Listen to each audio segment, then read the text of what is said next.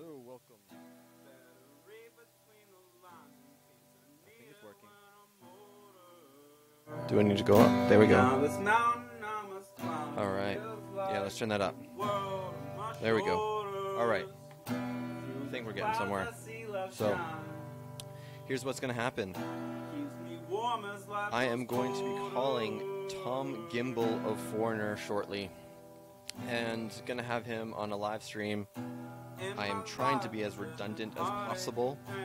So I've got this recording onto my audio recorder, but also live streaming onto Facebook right now. I'd really appreciate a share if you're a Foreigner fan or if you love Kamloops or if you want to see more awesome acts, come to Kamloops. You know, I appreciate a like, a share, whatever it be. Um, you know, you can decide if I earn it, and that's cool with me. So, without further ado, I'm gonna actually burn three more minutes because I said I'd call him at 12:15. I believe I'm calling him. Uh, I'm guessing, in his home in California. I, I actually did a little bit of research on him, and, and basically, Foreigner is the band that uh, you know all the songs to, but you don't know the name of the band. They're actually a top 10 radio played rock band, so like, and they've been around since the 70s. So they're coming to Kamloops February 24th. Um, so it's going to be a big concert, and uh, I'm excited to chat. Excited to chat with them, see what uh, what um, they have to say. You know, Tom, Tom, he plays a whole bunch of instruments. Uh, know he's kind of like the sax man, from what I've uh, read. You know, which isn't much. It's Wikipedia, right? Like, I was chatting with my neighbor actually. Uh, her name's Joan. She's going to be going to the concert in February. Um, hoping to take her grandson to his first rock concert. Uh, she's like, yeah, that's fine. She's totally cool with the, you know the fact there's been so many band members um, gone through, but it's because the music hasn't changed. It's like it's like Foreigners almost become like like like Foreigners gone beyond what. Uh, oh, I gotta change that quickly because I don't have a SOCAN license. You know what that means is I uh, I'm not paying you know music licensing and whatever be. Instead, what I did is I asked my friend Jesse Nic- Nicholson, Jesse Nicholson from high school, um, to you know send me a cover of him singing Foreigner. And he's he's been doing bands and stuff for a long long time, so I gave him the the opportunity, and he's like, yeah, totally. So you can check him out. Uh, he is Leaf Grizzly is the name of his like rap uh, name, but he's also got like uh, other projects as well. But uh, yeah, so I'm gonna press play to him. It's gonna play in the background, and uh, now what I'm going to do, Nevin, I'm check sure my effects are on, as I'm gonna now Sorry. call. hope it doesn't suck. I'm gonna call our man here. Take a little And I'm gonna have to use a time. Hangout styler because I don't have international calling. So free calling thanks to Google. Shout out Google. Here we go. Eight one.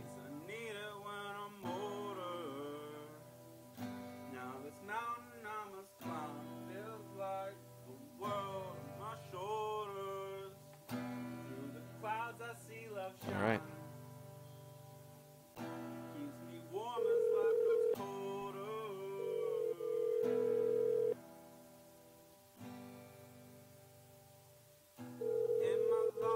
That's right. This is absolutely live.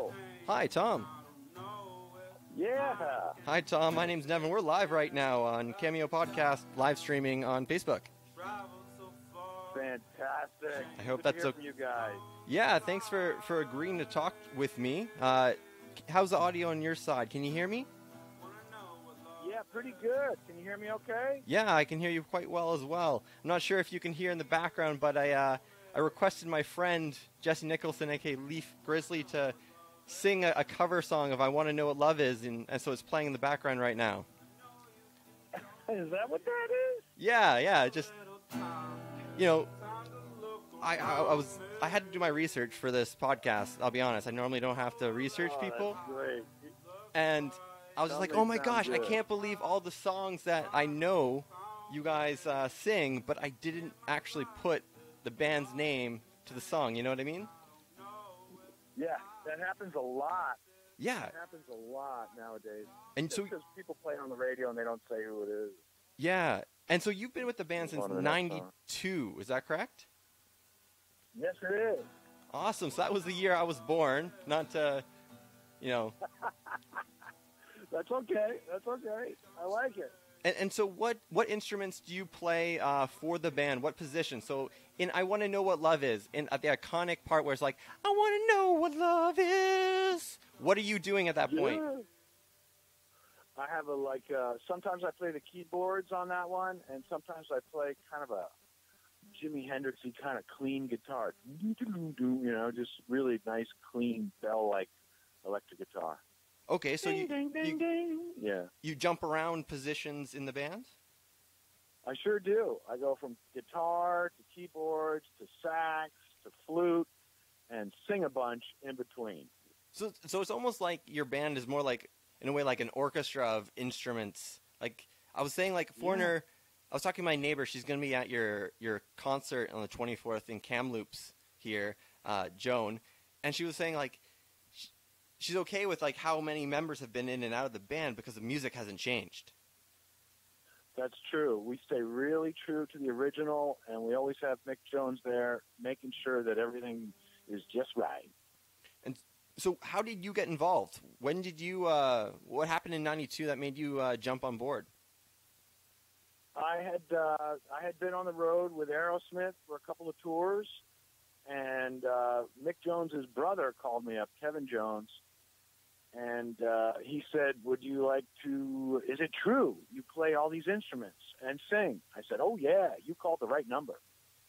and so he said, uh, "Instead of audition, the guys just like to meet you. Let's let's all go out to dinner because they wanted to find out what kind of person you are." if Mhm. you're going to be joining a band and going on the road and spending a lot of time together, the personality thing is kind of important, if you know what I mean. Totally. So uh, anyway, yeah, I had been recommended to them by a friend of mine over a golf game. He was playing golf with uh, someone from Atlantic Records, and they said Foreigner is looking for a guy that plays guitar, sax, maybe some keyboard, singing. And my friend Ricky Phillips said, "I got the guy. I got the guy." So w- So were I you was on, very lucky. were you on the radio at that point, Had- or was was Foreigner your first time being on the radio? I had, I had certainly done a, a fair amount of uh, all kinds of television, radio, and uh, live performing. Live performing. Awesome. Is is this going to be your first time visiting Kamloops?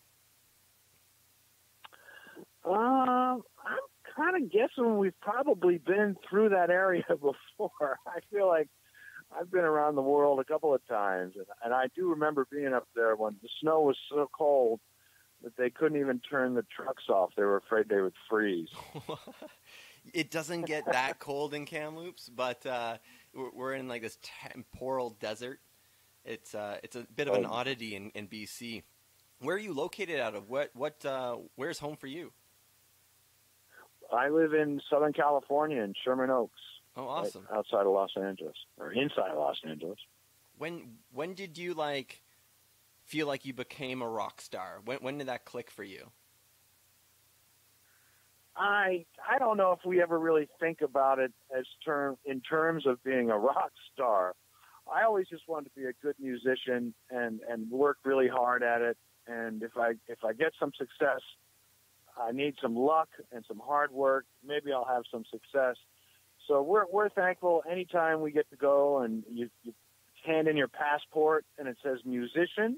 Mm-hmm. I feel like that's success. The fact that that's my location, the fact that that's what I do for a living, that feels like success to me. I feel very fortunate. Totally. I, w- I was checking out your guys' Spotify. You had like five million fans last month. That's huge. Yeah. This music continues to really uh, grow and retain, and it's it's it's really held up over over the ages in a magnificent fashion. This music is timeless, and I never get tired of it. I love all these songs. Every time we play them, there's never a moment where I'm like, "Oh man, this song again." No, I love every one of them. They are a blast. What's and the especially when the audience they're uh, rocking out with us. What's the last song that you cried to? Oh, that's a tough question. I think it would probably be one of those dog commercials where they show the dog as a puppy and then he gets older and older. That makes me. But that's cry. manufactured to make that happen, right? Like, like what what was the Yeah. last song that like just spoke to you and you're just like, because for me, I I listen to a lot of this new SoundCloud hip hop world, right? Where where you know it's it's literally Sure. kids in setups much like the one I'm calling you from, right? Like. You know, as Sure. music changes, it still has that same power, right? Even though it sounds different. Yeah. I think uh you know maybe some of that Amy Weinstein Weinstein or Oh, the yeah. Adele song where she talks about you could have been the one or one of those songs you might get a little uh emotional. yeah. well, when I was checking you out, looks like uh, you've done a few kind of podcast interviews. Are you the are you the chatty one of the group? Uh, wh- which would you be like Baby Spice, Posh Spice? Like which Backstreet Boy character are you? Not necessarily. I think we all do a lot of interviews and we're all pretty talkative. I can tell you that from hanging out with these guys, but uh, they asked me to, to chime in, so I'm always happy to do so. Yeah, I certainly appreciate it. You know, I am just you know a dad with a bunch of funny equipment picked up from the local music shop. Where would you like to see the music industry go in the future? What do you, what do you think you know needs to happen uh, in the music industry in this age of disruption? I like I like the music industry. I, I like everything that happens, uh, and, and when people are are enjoying it, that's the key for me. Mm-hmm. It doesn't matter whether I like it, but when I see people rocking out or thumping out, having a good time, it makes them want to move. It makes them want to dance or sing or shout. That is what I think is the important part. And uh, it doesn't matter to me whether it's hip hop, classical, jazz. People get a kick out of music, and it, it's an important part of their lives. So for me, I'm just glad to, to see that it's still doing that. I hope it never goes away. You'll see it everywhere you go. There's stores or restaurants, bus stations, airports. Music is always there. Mm-hmm. And if, if you take it away, you'll notice there's a real space. Uh, we just like it because it adds motion to the air. You know, there's something moving, and I love that. So I, I think it's here to stay for sure. have you seen like a change in your audience in recent years, or or, or what, what do you think happens to Foreigner in like ten years from now? Yeah. It's it's continuing to grow. We have a large span of ages. Um, young people discovering this music. Mm-hmm. They find it from their parents and uh, just middle aged young people, and then up to contemporaries, people from our era that were around when this music first came out. So it really does. It it, it covers a large cross section of age groups, and it's continuing to grow. We see more and more people uh, of the younger age coming to the shows and discovering and saying, "We love this stuff." Mm-hmm. So yeah, rock music is still alive and well, especially in the live performance area. Totally. Yeah, that Yeah. you know we're all we're all able to perform at this point with with our cell phones or whatever it be, and you have to embody the the spirit of a performer. What sort of uh, pointers can you give to these aspiring musicians who who are still figuring out how to perform in this new world we live in? I've always thought the main thing is to, to play from uh, with as much emotion as possible. They say play from the heart. As long as you put your heart and soul into it, uh, it's going to be good. But you, you certainly need to practice and take lessons. Or I don't know if people take lessons anymore. You can go to YouTube and, and find anything you want to learn. But the thing about taking lessons is you have a teacher watching what you're doing and saying, yeah, you know, you need to work on this or you might want to make this a little bit better. That's the importance of having a teacher that watches you and getting some input and feedback. But it's really always, always been the same uh, remedy. if you have a driving desire to do it, you got to stay with it Mhm. and uh, follow your dreams. You know, all this, all this traditional values. We call them rock values, traditional, and it works every time as long as you stay with it. Yeah, awesome. What uh, what's the last instrument instrument you uh, taught yourself there, Tom? And is it Tom with an H or is it T O M? I'm seeing both. I like both. I, I like both. There's Tom, Tommy, Thomas, Tom. Uh, lately, I've been going by TOM, but that's just to keep it simple. Uh, the last instrument I picked up was probably the baritone saxophone. Baritone saxophone. So, how many instruments do you play at this point, and which is your favorites? And how do you Well, choose which one you're going to play? saxophone. If you counted up all the saxophones, there's four right there. There's baritone, tenor, alto, and soprano. Then there's flute, uh, clarinet. So what we're up to six. Uh, guitar is seven. Keyboards is eight. I play a little harmonica. That's nine, and some clarinet. Call it ten. And singing, singing is really the most important one of all. So let's call it even eleven. do you guys take turns, or, or, or I guess you all have your, your different harmonies during the song, or, or is it a very fluid uh, change of of which position you play? Yeah, you're right. We we do uh, harmonize and we make those nice background vocals. That's a lot of fun, singing as a group. And uh, sometimes we bounce around on the instruments too. Our keyboard player will get on the bass. Our bass player will get on the keyboards. I've uh, I've gotten on the drums. Oh, I forgot to mention the drums. So we're up to twelve. That's a nice dozen. instruments. So- uh, and yeah, so sometimes I get on the drums. That was my first instrument. I love playing the drums. It's a great cardio workout, and uh, anyone. I always thought that everyone should have a set of drums, just to get out any kind of uh, anxiety or Well, I'm, I'm currently currently sitting on a drum stool, but I don't own a set of drums myself. What uh, what No, bands are you same. listening to on Spotify or, or wherever you get your music, Apple Music? Who uh, who you've been listening to I- lately? I still listen to a lot of Steely Dan. I have a, little bit of, of jazz in my background, and uh, so I love Steely Dan and a lot of the Motown stuff, the uh, rhythm and blues. I love uh, Marvin Gaye and Al Green. Those are probably the three of my favorites. Uh, of course, Otis Redding, all that stuff. Just it really resonates with me. Awesome. What's what's something that uh, in in your whole career as a musician, you've probably done a lot of interviews. What's something you've always wanted to chat about but haven't had the chance to, to put out there?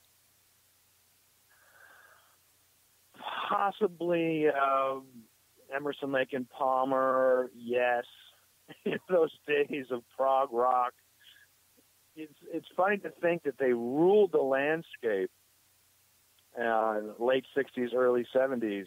Those were the biggest bands in the land, and uh, it's almost like a chapter of history that got forgotten in a lot of places. So, So, uh, which bands were these again? yeah, we don't. Emerson, Lake and Palmer. See, I've never and heard of them yeah. at all. Yeah, I know. It was a long time before you were born. And uh, there's a song by Emerson, Lake and Palmer called "From the Beginning." You, you might want to check it out. We'll do. When when it's did absolutely beautiful. when did you first find out about Foreigner? Since they've been going since like 1976, and you joined in like '92. Everybody knew about Foreigner when they hit the radio. Uh, feels like the first time came on the radio, and it, you could tell it was a perfect rock song. It still is the absolute perfect rock song. And by the time Hot Blooded hit the airwaves, every car had an eight-track tape player in it, and just it sounded so good on the car stereo, not to mention a real stereo. So yeah, I would say as soon as they came out, everybody knew about Foreigner. What what has been like the biggest shock to you in like the growth of like the music industry, especially within the rock scene? Since you know you you've got decades of of watching it beyond me. Sure.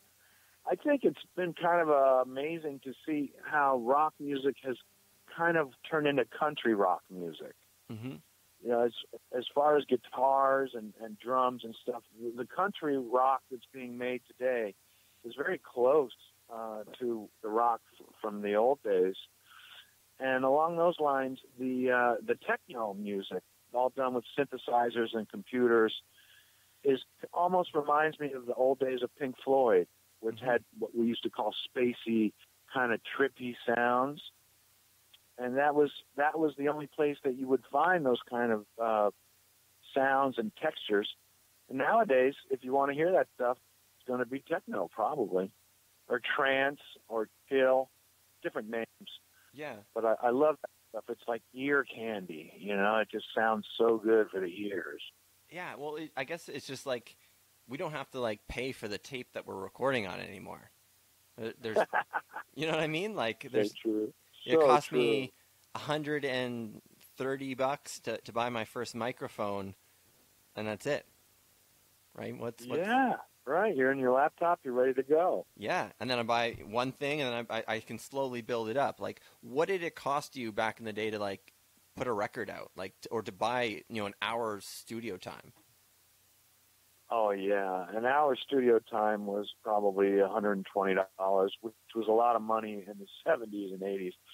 Nobody had enough money to go and, and make a whole album. When when a band signed a record contract to make an entire album, the budget would sometimes be between two hundred and four hundred thousand dollars. So seriously, Wow. Yeah, so that was the dream, you know, to get into the studio and make an album. That was always everybody's dream. And the only way you could do it was to be in a band that signed to get a record deal. Um, and so uh, people eventually started getting home studios, but those were expensive too. hmm And then it's all now done on a laptop, and uh, you guys get to save ten or twenty thousand dollars. Hey, hey! yeah, yeah, and it, well, even more if you count all the failures and you know the the wasted time messing with knobs and whatnot, right? So Yeah, that took a lot of time. You're absolutely right. my, my, my biggest fear actually for this uh, this call is this is actually like the first time I've done this setup um, to the degree that I Yeah, have, and yeah. I was like, oh no, if I mess this up, he'll he'll never talk to me. Just hope that technology works for us and that we don't work for it. Yeah, exactly, right. I tried to make it redundant so Yeah. that uh, I have a safety net. Um, Cool. what, what, what you know, we, I've had you on the phone for like, you know, 15, 20 minutes. What, what are just some parting words that you think you want to just share with, with any musicians, artists, you know, that, that you just want to get out there, put on wax, and uh, we can wrap up our, our conversation unless you have anything you want to talk about. Okay. Uh, well, first of all, we want people to know how much we appreciate everyone that comes to the shows and rocks out with us. That's something that uh, we can't stay say enough about. And um, you know, we also want to encourage people to keep the music in their schools. A lot of schools are having their music programs taken away. So if if there's any way you can uh, talk to the the superintendent of schools or the board of education and say, hey, you know, we like having music in the schools. It's great for kids. It's great for adults too. Oh yeah, that's But, right. uh, you guys are you guys are donating some stuff to the Kamloops School of the Arts Choir as well. Or Yeah. so the Kamloops School Arts We- Choir will be performing the band on the band's classic hit "I Want to Know What Love Is." Awesome, and you're donating uh, Yes. some cash for at the concert raise monies for their charity partner, the Grammy Foundation. So yeah, you're you're trying to keep Yes. music in schools. I, I was in band from like grade five to grade eight. I, I stopped in high school. I'll be honest, but uh, you know, I, was, okay. I, I was lucky. I learned I learned drums, trumpet, a bit of guitar, drums. I messed around on the xylophone. You know, it's it's fun to have that freedom to jump Good. around and experiment and to play with that creative side of your brain. Absolutely. That's good stuff. So that's one of the messages that we always try to send out. And uh, we're just glad that people are out there rocking with us anytime they want us to. As long as they want us to, we'll keep going. That's awesome. How long do you think you have to, to keep rocking? Like like some of the, the legends, it's amazing how much energy and stamina they have. Um, you can Oh, just see it's powered by passion. Yeah, there's no end in sight for us. That's the name of one of our albums. There's no end in sight. Awesome. Well, well, Tom, where can uh, where can people reach out to you or, or find you if you're on the social medias? Sure, I'm on Facebook under the name Thomas, T H O M A S Gimbel, G I M B E L. And by all means, drop by and say hi. Awesome. Well, uh, I'll let you go as I, I slowly fade in my friend singing a cover of "I Want to Know What Love Is." But uh, looking forward to hearing what you guys do with the Kamloops Choir. That's very exciting. My wife's done some uh, some work with the musician uh, groups here in Kamloops, and uh, you know, arts and culture is, is certainly underdeveloped in this town, so I'm excited to see uh, the the ripples of your concert. Thank you so much for chatting with me today, Tom. Thank you. It was an absolute pleasure talking with you. Have a great day. Take care, guys. Cheers. Bye bye. Bye-bye.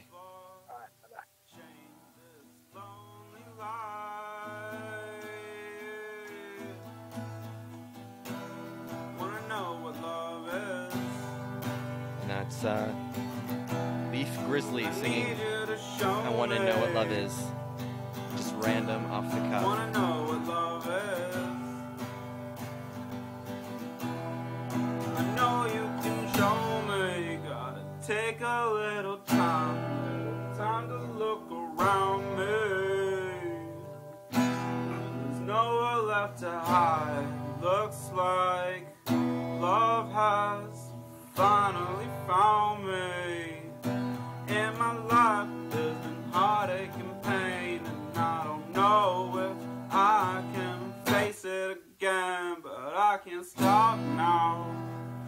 traveled so far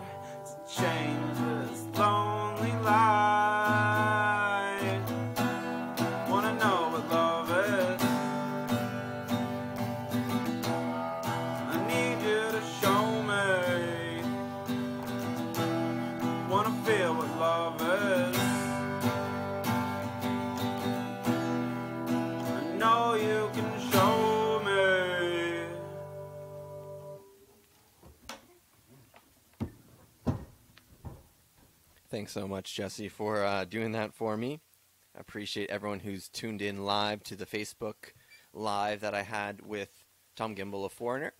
I'm going to also be putting this up on the podcast stream, so you can listen in if you're just joining us now on the live stream. Um, yeah, I want to do more of these live streams, these phone ins, chat with people who are going to be coming to Kamloops. You know, the the podcast itself the idea is you start local, but you can go global. You know, Foreigner is a global entertainment powerhouse coming here to Kamloops, and uh, that's exciting. And I want to see more of that. So uh, if I can do more of these interviews, I hope you guys enjoy them. I hope you guys don't uh, criticize, you know, the fact that it is people who are not from Kamloops, but it's people who are coming to Kamloops, which is it, it brings a lot of money. There's a lot of money in the tourism industry, in the entertainment industry that uh, is underdeveloped in here, and I want to have a small piece of that uh, with my little podcast. So that is what it is. You know, you guys know how to reach me if you have any criticisms, and and and I, I certainly need to take the criticism criticism uh, where it's deserved. Uh, so yeah, that's that.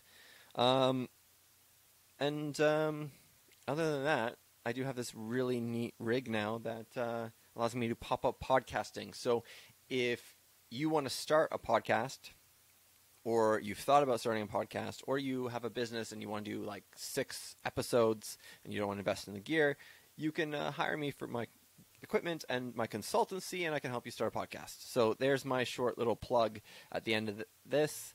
Uh, please consider subscribing to the actual podcast feed wherever you find your podcasts Spotify, uh, YouTube, uh, iTunes, wherever it be. I'm on all of them. You can always check out kameo.transistor.fm slash subscribe to see where you can subscribe. And if you have any problems, please, please reach out to me. Um, and leave an iTunes review if you could. iTunes review do help, uh, you know, but uh, it is what it is. Hopefully the audio quality was good and you enjoyed that interview. This format it is different. I do have one, two, three recorded cameos of my traditional coffee shop podcasting recorded, and additionally, I do have uh, another one to be recorded tomorrow morning with Cathy McLeod, our MP. So uh, be sure to look out for that as well. Uh, those will just be on the podcast feed, um, just because I can't truck around all of this equipment all the time. Um, but uh, I like to keep things simple uh, where I can. But uh, you know, the, this this live stream call in idea works well. Um, and, and I did want to do like a radio show eventually where people could call in and, and, and give their input and their uh, comments about different things around Kamloops and really have that uh, talk back idea that uh, Jimmy Hall kind of brought forth with uh, with his shenanigans. So that's that. Uh, it's Nevin Webster here at Kameo Podcast. Check me out on Instagram, Facebook, wherever be plug plug plug, or just Google me Kameo Podcast. Um, I've made some news recently uh, concerning Justin Trudeau and a canoeing incident in Kentucky, which was super fun. I had a lot of fun memeing that. So if you need any memeing service, I'm your man. So I'll leave it there. And uh, yeah, thank you once again for tuning in to Kameo, whatever this segment's called. Cheers.